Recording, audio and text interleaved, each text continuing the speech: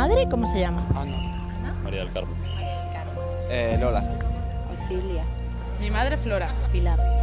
Si tuvieras que definir a tu madre en pocas palabras, ¿cómo la definirías? Eh, luchadora, buena. Increíble y súper atenta. Muy, muy trabajadora. Cuídame muy bien. Buenaza. Es que ella en sí es diferente. Es que. Cada vez que salgo me dice que consentidiño. Ay, mam. mamá. Bueno, a día de hoy ya me sigue riñendo pues, por lo de siempre, no tener recogida la habitación. Eh, como decía Quevedo, ande yo caliente, ríase la gente. Siempre me dice esa frase. No, le gusta mucho cantar. Canta, pero vamos.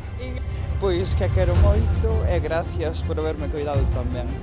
Yo siempre digo que es muy bonita, entonces estoy todo día así. Pues que tengo muchísima suerte de tener la madre en la que tengo.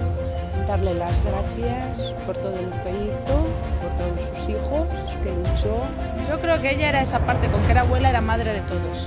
que la, que la extraño. Y la quiero. Que la quiero un montón y que nunca me falte. Es mi ejemplo a seguir y ojalá algún día ser yo como ella. Ante todo es mi madre, la quiero muchísimo. ¿Y ya le habéis comprado algo? ¿Ya tenéis algún regalo preparado? Sabéis que el Día de la Madre es este domingo. Se lo iba a comprar entre mañana y el sábado. ¿Sí? No sé. No, no, estamos pensando aún en qué regalar. Bueno, yo por lo menos en qué regalar ya no, no sabemos. Quiero que veas lo que hay dentro de esta caja.